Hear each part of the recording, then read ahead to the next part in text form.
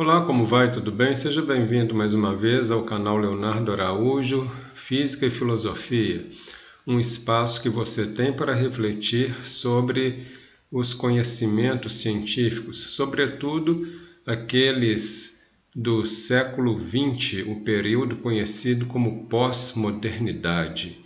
E hoje nós vamos falar um pouquinho sobre a relação existente entre partículas elementares e buracos negros o que, que é isso? Em partículas elementares e buracos negros.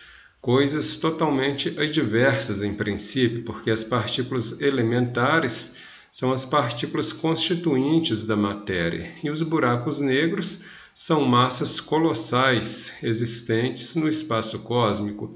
E como relacionar uma coisa a outra? Então vamos ver como é que a gente pode fazer isso. Veja só, Partículas elementares são essas que estão aí na nossa tela. Temos os férmions e os bósons. Os férmions são as partículas constituintes de toda a matéria. Já falamos isso em outros vídeos no nosso canal. E os bósons são as partículas responsáveis pela comunicação das forças da natureza. Bem, é, as partículas elementares, portanto, estão em toda parte. Os buracos negros são estruturas gigantes, mas no seu interior existem partículas elementares.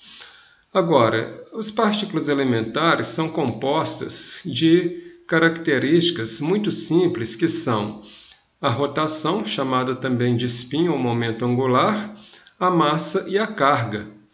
E é isso que diferencia cada uma delas. E por incrível que pareça, os buracos negros também têm este comportamento. Eles têm rotação, massa e carga. Então nós vamos dizer que os buracos negros são partículas elementares? Obviamente que não. Nós vamos dizer que eles têm essas características das partículas elementares. Afinal de contas, o macrocosmos ele é definido pelo microcosmos. Os buracos negros são estudados pelas equações da relatividade geral. As partículas elementares são estudadas pelas equações da mecânica quântica. Mas o interior de um buraco negro é cheio de partículas elementares. Portanto, o interior de um buraco negro é uma função de onda e a mecânica quântica vai ser necessária para o estudo do interior de um buraco negro. Então, temos aqui nos buracos negros um fenômeno natural que possibilita a união da relatividade geral com a mecânica quântica. É, ou seja, temos aqui um fenômeno natural que pode nos garantir a execução, a sistematização da teoria quântica da gravidade.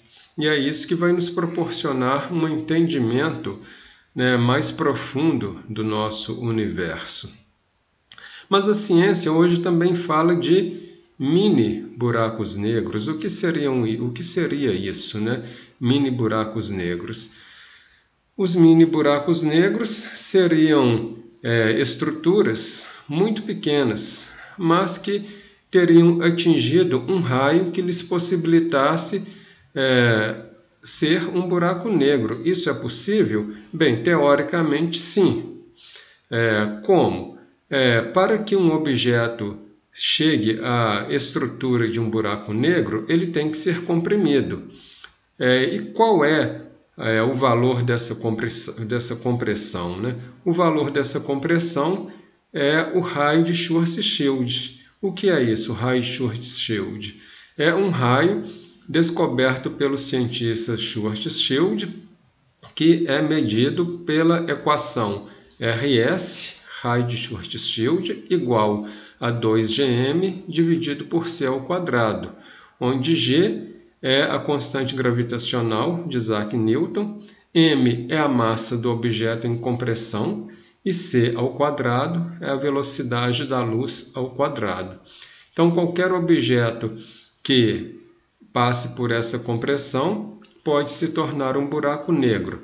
Exemplo, a Terra, para se tornar um buraco negro, teria que se comprimir até um raio de 8,9 milímetros. o raio da Terra é 6,3 mil quilômetros. Então, se esse raio da Terra atingisse 8,9 milímetros, a Terra se tornaria um buraco negro. Teoricamente falando, portanto, um torrão de terra poderia se tornar um buraco negro, uma bolinha de gude poderia se tornar um buraco negro, basta que atingisse essa compressão definida pelo raio de Schwarzschild. É, experimentalmente, é, isso nunca foi verificado, mas teoricamente não há impossibilidade de uma mini estrutura tornar-se um buraco negro. Os buracos negros cósmicos é o que está em evidência aí nos estudos da ciência. Logicamente, os buracos negros cósmicos não são estudados pela teoria quântica, eles são estudados pela relatividade geral, mas hoje existe a possibilidade de a teoria quântica entrar com a sua contribuição nos estudos dos buracos negros, exatamente porque o interior de um buraco negro é um interior que contém partículas elementares, portanto descritos pela função de onda. E aí está a relação entre buracos negros e partículas elementares. Se você gostou dessa explicação, dê um like aí para gente, faça sua inscrição no canal Leonardo Araújo Física e Filosofia. Aguardamos você no nosso próximo vídeo. Muito obrigado pela sua companhia aqui no nosso canal e tchau, tchau.